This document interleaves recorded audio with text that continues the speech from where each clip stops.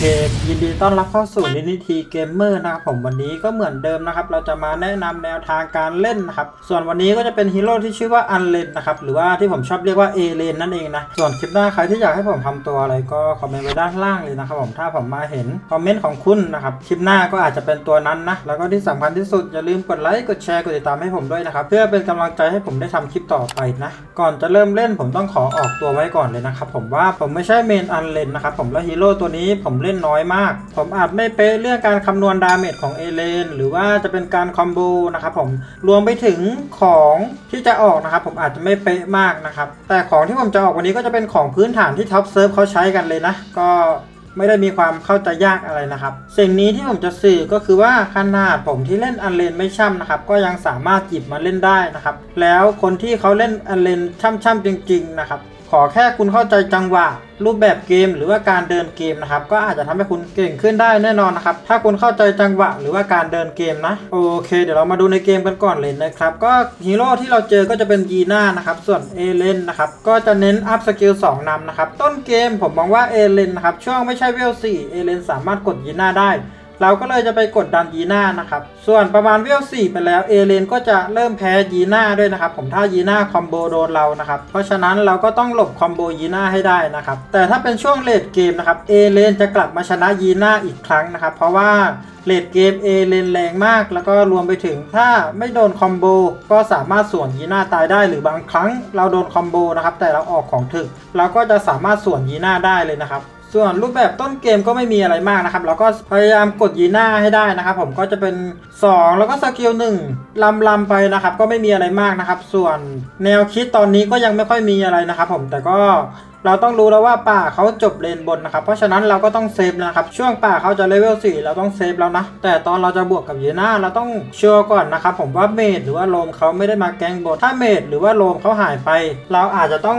ยืนติดป้อมหน่อยนะ แต่ถ้า mid กับ roam เขาโผล่เลนแล้ว เราก็สามารถ วัดกับยีน่าได้นะ แต่ถ้าเป็นยีน่าที่จะเล่นเป็นครับเขาจะสกิล2แล้วก็สกิล1 1ทีนะครับ แล้วก็ทำให้เราติดใบ้แล้วก็ออกนะครับ ก็จะต่อเลือดเราไปได้นะ ส่วนตอนนี้นะครับทุกคนต้องดูเวลาละช่วง 2 นาทีจะเป็นช่วงที่ป่าเขาฟาร์มเสร็จนะครับ เพราะฉะนั้น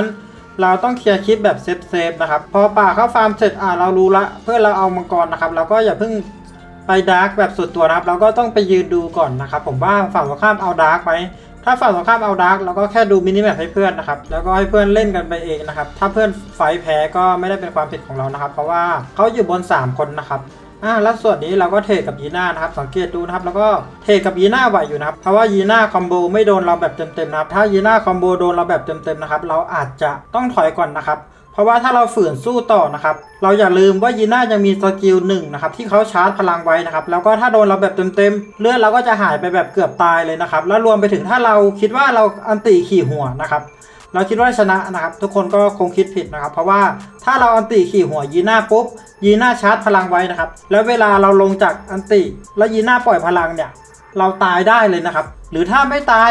เราก็เกือบตายแล้วนะครับ ผมแล้วก็ถ้ายีน่าตีเราอีกทีเดียวก็ตายเลยนะครับ หรือหลายๆ คนอาจจะบอกว่าพี่ผมไม่ตายครับ แต่ก็อย่าลืมนะครับ ถ้ายีน่าคอมโบสกิลเซตแรกเสร็จนะครับ พอเขาปล่อยพลังชาร์จเสร็จแล้วนะครับ สกิล ulti เขาก็จะ cooldown เสร็จแล้วนะครับ เขาก็จะคอมโบใส่เราต่อได้เลยนะ สาเหตุที่ผมรู้นะครับ ก็เพราะว่าผมเล่นยีน่าบ่อยมากนะครับ เราก็จะนับการ cooldown ของสกิลยีน่าได้อย่างแม่นยำนะ เพราะฉะนั้นเราไม่ควรไป trade ตอนที่ยีน่าคอมโบโดนเราเต็มๆนะ ส่วนการออกของนะครับ เกมนี้เราจะออกรองเท้า CC มาก่อนนะครับ แล้วก็จะเป็นทารอนนั่นเองนะครับ ของนี้ผมก็ออกตาม top serv เลยนะครับ สาเหตุที่ออกของแบบนี้ก็ไม่มีอะไรมากนะครับ ก็รองเท้า CC ก็กันยีน่าคอมโบ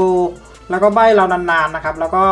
ทารอนก็คือเราเอามาเพิ่ม damage นะครับ รวมไปถึงเราก็จะได้ดูดเลือด creep นะครับ เราจะได้ไม่ต้องกลับบ้านบ่อยนะ และชิ้นต่อไปที่เราจะออกไม่เหมือน top serv นะครับ ผมจะออกไนท์เพจมาก่อน เพื่อที่เวลาเราโดนคอมโบนะครับ เราจะไม่ตายในทีเดียวนะ ผมเลยออกไนท์เพจมากันนะ แล้วก็ชิ้นต่อไปก็จะออกเป็นดาบ crit นะครับ เพิ่ม damage ไปเลยนะ โอเค เดี๋ยวเรามาดูการเดินเกมกันต่อนะครับ ก็ช็อตนี้เลน carry ข้างล่างเราได้ป้อมแล้วนะครับ ฝั่งตรงข้ามเลยสลับนะ ฝั่งตรงข้ามมารุมผมสองตัวนะครับ แล้วเราก็พยายามเซฟตัวเองนะครับ แล้วก็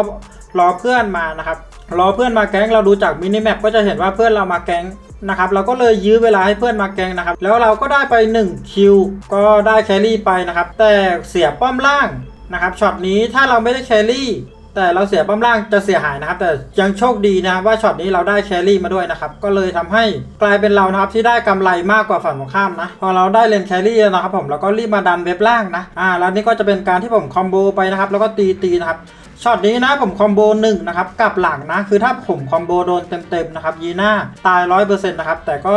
ผมคอมโบพลาดนะครับก็เลยทำให้ยีน่ารอดนะครับอ่าถ้าเรามาดูจาก minimap นะครับเพื่อนเราเล่นบนแล้วนะครับ เราก็ต้องดันเลนล่างนะครับ คือเวลาผมเล่น offlane ผมจะเน้นดันเลนมากกว่าไปเติมเพื่อนนะครับ ส่วนไปเติมเพื่อนหรือไม่ไปเติมเพื่อนนี้มันก็อยู่ที่ตัวด้วยนะครับ ด้วยความที่อัลเลนนะครับผมมันเติมเพื่อนช้ามากเลยนะครับ ผมก็เลยจะ clear เลนไปสูงๆนะครับ แล้วถ้ามั่นใจแล้วว่าเลนล่างเราไม่ตกแน่นอนนะครับ เราถึงจะไป fight กับเพื่อนๆนะ ด้วยความที่ตอนนี้นะครับผมสามารถสู้ยีน่าได้แล้วนะ เพราะเรารู้ว่าซึ่งยีน่าไม่ค่อยหนาเท่าไหร่นะครับ รวมกับ เงินเราก็นำนะครับ แล้วก็ kill เราก็นำรวมไปถึงเกมเราก็นำด้วยนะครับ ผมเลยกล้าเล่นกับยีน่านั่นเองนะ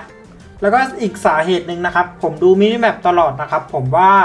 ฝั่งตรงข้ามอยู่ตรงเลนกลางกี่ตัว อยู่เลนบนกี่ตัวนะครับ เราเลยกล้าเล่นนะ แต่ถ้าฝั่งตรงข้ามหายหมดนะครับ เราก็จะไม่กล้าเล่นกับยีน่านะ อย่างช็อตนี้ก็ยีน่าพยายามจะสู้กับเรานะครับ แล้วก็ใบ้เราไม่โดนนะ เราก็เลยกล้าเล่นนะครับ ก็ยีน่าสกิล2ใส่เราไม่โดนนะ อีกอย่างหนึ่งเงินเราก็นำนะครับ ถ้าทุกคนมาดูการออกของนะครับ ชิ้นต่อไปนะครับ ผมจะออกเป็นไนท์เพจนะครับ เพราะว่ากันไม่ให้ยีน่าคอมโบนะ ให้เรายังได้รำสู้นะครับ เพราะว่าด้วยพลังแฝงของเรา หรือว่าจะเป็นตัวอัลเลนนะครับ มันไม่ได้มีความถึกขนาดที่จะถ้าโดน burst แล้วจะยังรำสวนได้นะ เพราะฉะนั้นเราก็จะออกของกันด้วยนะครับผมไม่ใช่ damage อย่างเดียวนะ บางคนชอบออก damage เยอะซะจนไม่มีของกันเลยนะครับ ผมก็จะบอกว่าต่อให้ damage คุณจะเป็นแสนเป็นล้านนะครับ ถ้าคุณไม่ได้ตีฝั่งตรงข้ามนะครับ ก็เท่ากับว่า damage ที่คุณออกมาเยอะๆนะครับ มันไร้ประโยชน์นะ โอเค เดี๋ยวมาดูช็อตนี้กันก่อนนะครับผมนะ แล้วก็เดินกดดันกลางไปก่อนนะครับช็อตนี้เพราะว่าเพื่อนจะป้อมนะ แต่ก็ carry ไม่อยู่นะครับ แล้วแก๊กก็ดึงโดนนะครับ เราก็เลยเล่นไปตาม fight นะ ก็รำไปมั่วๆนะครับ ก็ไม่ได้แบบ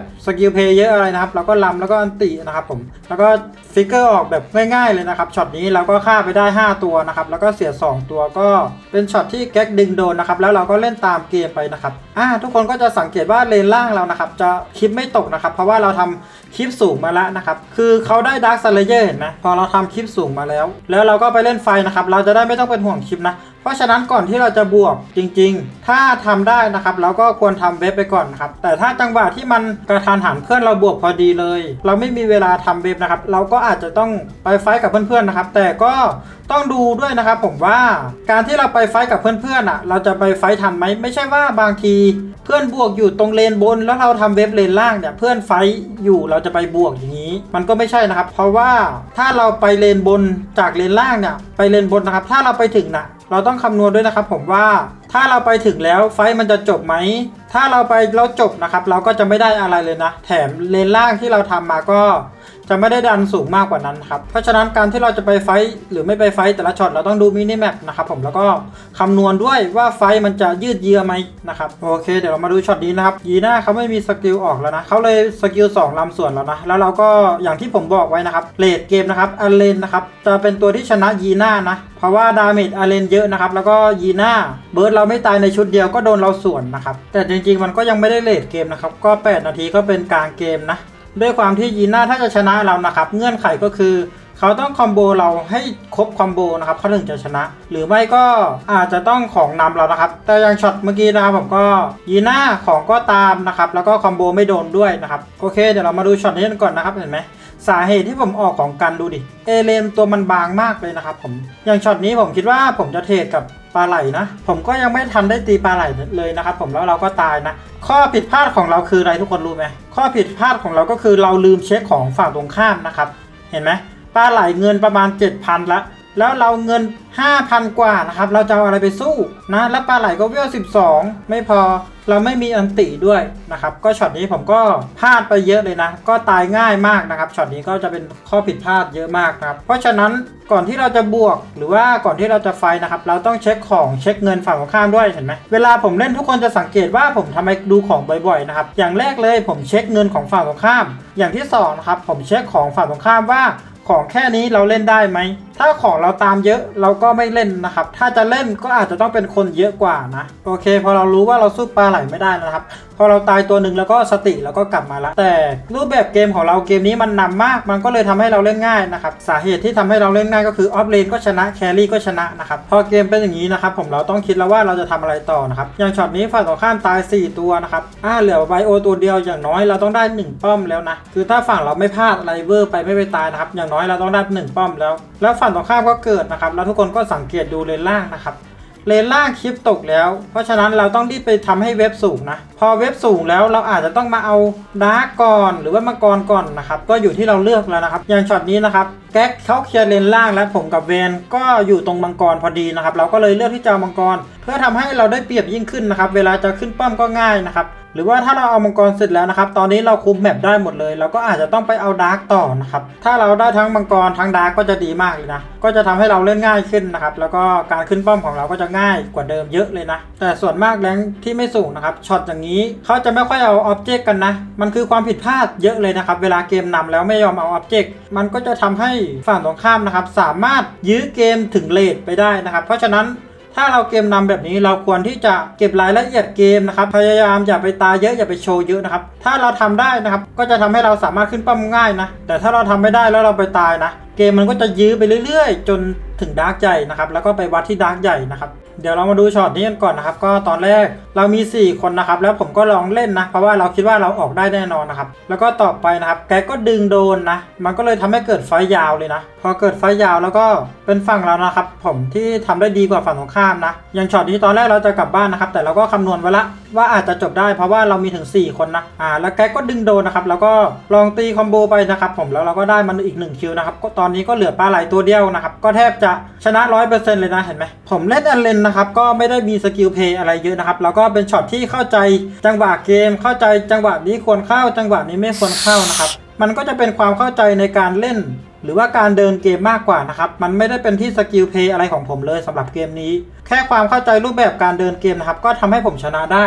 สำหรับเกมนี้นะเห็นไหมก็ MVP ไปนะครับสำหรับใครที่จะหัดเล่นเอเลนนะครับตัวมันก็แอบเล่นยากอยู่นิดนึงนะครับ เพราะว่าเงื่อนไขมันเยอะนะครับ ไม่ว่าจะเป็นการลำนะครับผมหรือว่าการเข้าจังหวะต้องเข้าจังหวะให้เป็นนะครับ รวมไปถึงการเข้าใจฮีโร่แบบจริง ๆ นะครับผมอีกข้อหนึ่งที่ขาดไม่ได้ก็คือการออกของการแก้เกมนะครับผมสำหรับคลิปนี้ก็หวังว่าทุกคนจะได้ประโยชน์จากคลิปนี้ไม่มากก็น้อยนะครับ แล้วก็หากคลิปหน้าอยากให้ผมทำตัวอะไรก็คอมเมนต์ไว้ใต้ด้านล่างเลยนะครับผมที่สำคัญที่สุดอย่าลืมกดไลค์กดแชร์กดติดตามให้ผมด้วยนะครับ เพื่อเป็นกำลังใจให้ผมสำหรับวันนี้ขอตัวก่อนแล้วเจอกันสวัสดีครับ